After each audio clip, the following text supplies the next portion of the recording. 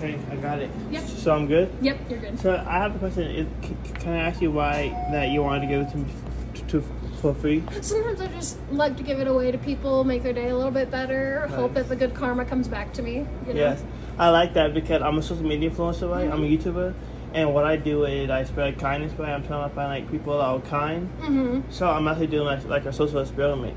Oh wow. Okay. And you, we need mo- we need more people like you. Thank you. Yeah. Thank so you. I got a question. What is what what what's your message to the world?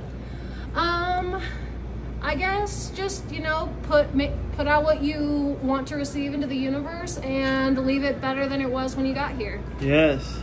All right. And and are you fine if, if I post it on YouTube? Absolutely. All right. Have a good day. You too. Thank you. Yep.